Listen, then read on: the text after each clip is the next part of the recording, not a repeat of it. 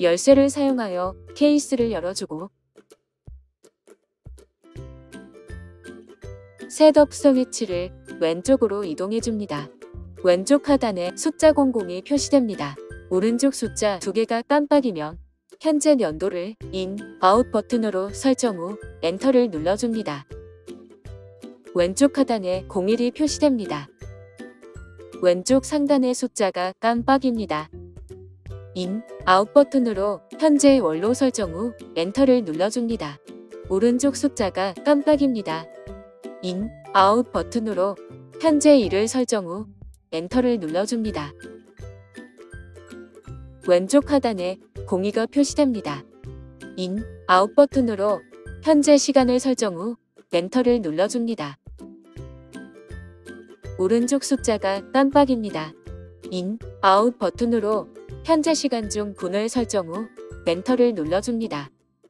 일자 변경 시간은 특별한 경우가 아니면 넘어갑니다. 왼쪽 하단에 숫자 13이 표시됩니다.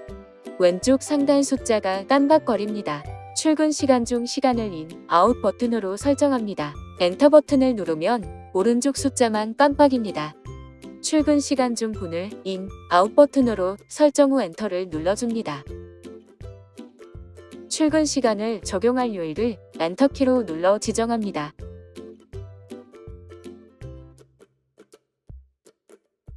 왼쪽 하단에 숫자 14가 표시됩니다. 오른쪽 숫자가 깜빡입니다. 퇴근 시간 중 시간을 in, out 버튼으로 설정합니다. 엔터를 누르면 오른쪽 숫자가 깜빡입니다. 퇴근 시간 중 분을 in, out 버튼으로 설정 후 엔터를 눌러줍니다. 퇴근 시간을 적용할 요일을 엔터키로 눌러 설정해줍니다.